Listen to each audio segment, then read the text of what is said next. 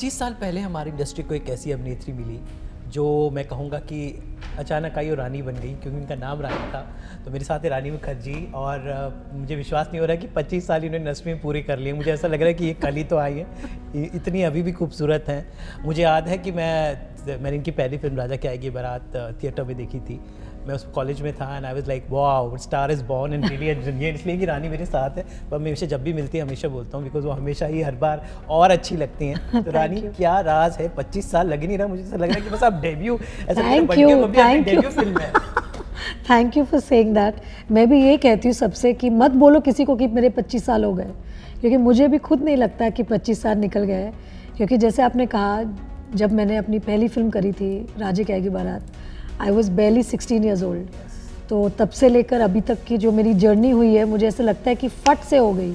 ऐसे मुझे लगा ही नहीं कि पच्चीस साल ऐसे जब बोलते तो ऐसे लगता है कि बहुत साल। It's just a number yes absolutely और मैं तो चाहती हूँ कि मेरे जो अगले जो पच्चीस साल है, वो ऐसे ही ऐसे ही वापस निकल जाए। I am sure I think her film को हम ऐसे ट्रीट करेंगे। डेब्यू फ़िल्म है तो बंटी और बबली टू इट्स लुकिंग मतलब मुझे याद ही नहीं आ रहा कि बंटी बबली पहले कोई फ़िल्म थी। मतलब एकदम नया सब कुछ एकदम नई रानी मतलब चाहे मतलब हिचकी हो मर्दानी हो you add your new extra to make it extraordinary तो इस बार भी मतलब कि नया है सब कुछ स्वैग नया है डायरेक्टर नया है सेटअप नया है। जी। तो बट्टी और बबली टू में आप क्या नयापन लेकर आ रही हैं?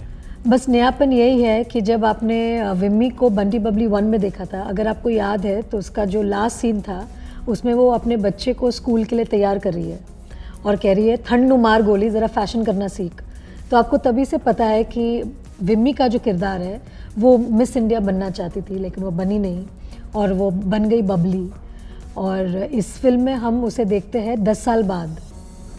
तो उसका जो बेटा है, अभी दस साल का है पप्पू। और लेकिन उसने फ़ैशन नहीं छोड़ा है। विम्मी ने। और वो समझती है कि वो फुर्सतगंज की क्वीन है फ़ैशन क्वीन है।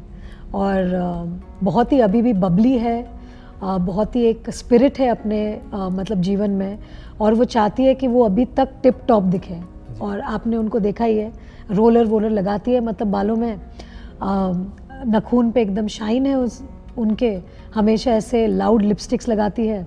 ताकि एकदम एक पूरे क्राउड में अगर कोई भी दिखे तो मतलब विम्मी ही दिखे पूरे क्राउड में। तो बस मैंने एक विम्मी को एक अलग एक किरदार की तरह पेश किया है।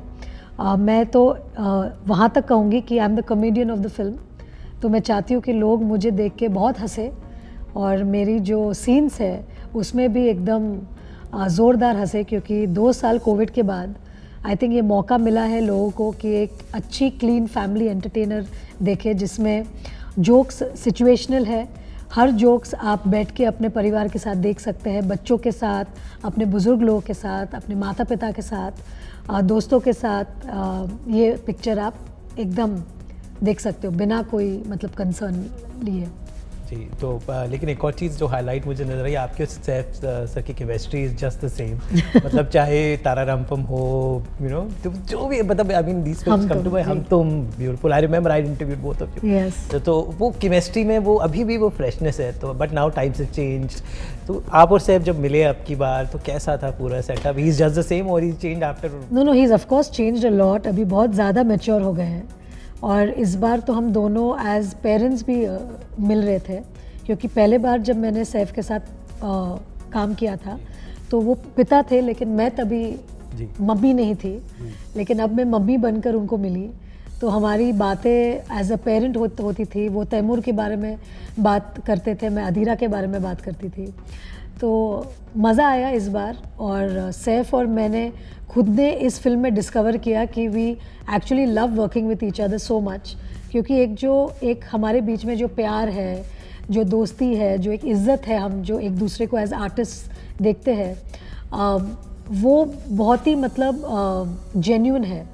तो वो हमारे केमिस्ट्री में शायद दिख के आता है क्योंकि we really had a wonderful time working with each other ji I think नए director is about lucky Varun. Varun is the new guy and I think he can't be lucky is get so many stars to direct so how was Varun? नए थे लेकिन आई think नए थे लेकिन एकदम अपने मतलब डायरेक्टर का जो हम बोलते हैं ना वज़न तो वैसे डायरेक्टर का वज़न था उनमें। बहुत ही मतलब उनका जो टेम्परमेंट है, बहुत ही अच्छा है, बहुत ही कूल और काम रहते हैं। और मैंने बंटी बबली वन की थी शाद के साथ, जो पूरे मतलब पागल हैं। और उस टाइम पे हम सब पागल थे, जब हम बंटी बबली वन हमने शूटिंग की थी। लेकिन इस बार जब वरुण के साथ बंटी बबली टू में काम किया तो वरुण भी उतना ही पागल है, लेकिन शायद वो दिखाता कम है कि वो पागल है। वो बहुत मतलब सोबर वे में आता है, लेकिन उसमें भी वो एक जो मैडनेस बोलते हैं ना जो बंटी बबली टू के डायरेक्टर में चाहिए तो वो मैडनेस भी है उन उनमें। और बहुत ही मतलब आ, मतलब अच्छे इंसान है। ऐसा लगता है कि आ, स्कूल में बड़े मतलब आ, आ, बोलते थे ना कि टीचर्स पेट मतलब हुआ करते थे शायद फॉर श्योर तो ये जो मिलेनियल्स हैं जैसे वरुण हुआ एंड शर्वरी और सिद्धांत वो भी आज के ज़माने के सो कॉल्ड मिलेनियल्स तो इन मिलेनियल्स के साथ जब काम करते हैं तो मतलब what do you think what kind of energy they bring you know आजकल के जो this youth they are different उनके क्योंकि वो लोग उतने चीज़ें एक्सपोज हैं। जी। शायद हमारे वक्त नहीं होगा। जी। बी बट आई थिंक जो मुझे सबसे ज़्यादा स्ट्राइक करती है ये मिलेनियल्स के बारे में कि they are very very confident जैसे कि ये शर्वरी की लिटरली दूसरी फ़िल्म है। पहले उन्होंने ओटीटी में काम किया हुआ है। लेकिन जिस तरह का कॉन्फिडेंस है उनमें उनके क्राफ्ट के प्रति और जिस कॉन्फिडेंस के साथ वो काम करते I think it's really really commendable जैसे कि सिद्धांत है सरप्राइज़ में हमने उन्हें गली बॉय में देखा था। तो मुझे एक्चुअल में लगता था कि शायद वो रैपर है। मुझे अब जाके पता चला कि वो एक्चुअली रैपर नहीं है।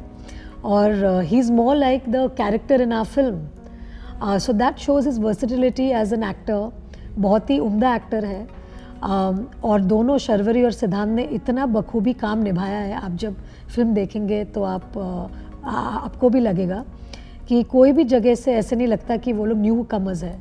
They are actually just killing it in the film जी आपकी फ़िल्मों के गाने आज भी मतलब मेरे तो पसंदीदा हैं। अब अय्या का गाना आई थिंक मैं रोज़ सुनता हूँ। तो इस फ़िल्म के गाने भी I think I am loving tattoo वाले एंड एक है या एक सॉन्ग है some love you love you वो भी बड़ा मतलब बहुत अच्छा music again I think Shankar Ehsaan Loy again जी। तो म्यूज़िक कितना स्वैग भरा है इसका। बहुत ही स्वैग भरा है। अगर आप बंटी बबली टू का भी रीमेक्स अभी देखेंगे जो हम बंटी बबली टू में लेकर आ रहे हैं जो जो टाइटल ट्रैक है बंटी बबली का उसमें भी जो ग्रूव है that's amazing the groove is fam और मेरा और सैफ का एक गाना है डिक चिक। डिक चिक I was talking about that song Dick चिक जी। अच्छा उसकी लाइंस तो लिरिक्स वो जब अभी आप देखेंगे तो आपको ऐसा लगेगा कि आपको एक फुल पैकेज जैसे बोलते हैं ना कि एक Bollywood film masala Bollywood film तो ये हमारी Bunty Babli two is full धमाका family entertainer comedy masala romance emotion सब है कूट कूट कर। आपने 25 साल पूरे किए लेकिन यशराज फ़िल्म से भी एक लैंडमार्क साल 50 50 साल। जी। तो काफ़ी वियर्ड है ना? मैंने 25 और उन्होंने 50 that's that's the cosmic connection with absolutely the, the best combination. जी। तो आजकल रीमेक्स का ज़माना है सब कुछ हुआ है। तो यशराज की कौन सी फ़िल्में आपके पसंदीदा हैं? खासकर मैं 80s की बात करूँगा I think Yash sir made I don't have to think about it Lamhe and Chandni उससे भी पीछे। उससे भी पीछे I would say I love दाग वक्त और Trishul Deewar one of my favourite films Kabhi Kabhi मतलब they are like never ending all the films आप आदि सर को बोलिए ना इन सबको रीमेक करें with I think Adi sir को कोई कुछ बोल नहीं सकता है वो वही करते जो उनको करना है। आप क्योंकि I think I see a lot of when you take time to do roles मतलब चाहे हिचकी हो मर्दानी हो तो अभी आप मतलब जब स्क्रिप्ट आती है तो what criteria now you look एक टाइम था यू यूज़ टू सो मतलब आप एक पर्टिकुलर वे में एक स्क्रिप्ट को देखते थे। अभी what do you look when you hear और सी अ स्क्रिप्ट और I think script should evoke some kind of emotion from me या तो कॉमेडी या तो इमोशन या तो एक्शन या समथिंग विच आई फील कि अच्छा ये मैंने पहले नहीं किया ये मुझे करना है। या इसको मैं अलग तरीके से कर सकती हूँ। या एक कहानी जो मुझे लगता है कि बोलनी चाहिए एक दर्शक तक पहुँचनी चाहिए। आ, ये ये कहानी बहुत ही स्पेशल है। आ, तो यही सब मैं देखती हूँ। Anything in OTT because OTT long format में अभी अभी नहीं अभी रानी को अभी बड़े पर्दे पे बहुत कुछ करना है। तो थोड़े टाइम में। जी। वैसे मैंने सुना है कि आप ऑलरेडी बिज़ी हो गए और नेक्स्ट फ़िल्म पे भी काम शुरू हो गया so you never stop working no I never stop working because I like to give whichever film I am doing a lot of time क्योंकि uh, जितना टाइम मैं दूँगी with my director with my team I think that makes the film even more special जी। क्योंकि as I feel that film making is always a place way you keep evolving you keep bettering your self you keep bettering the product तो जितना time आप spend करेंगे उतना हम हर दिन उस product को बेटर कर सकते हैं। तो चलिए रानी उम्मीद करते हैं कि इस बार और बबली में भी एक बार फिर से वही आपने कहा स्वैग हो। एंड एक बार फिर से rock because the promo looks very interesting and I am sure viewers gonna get a full entertainment from this one thank you so much and all this a pleasure to talk to you thank you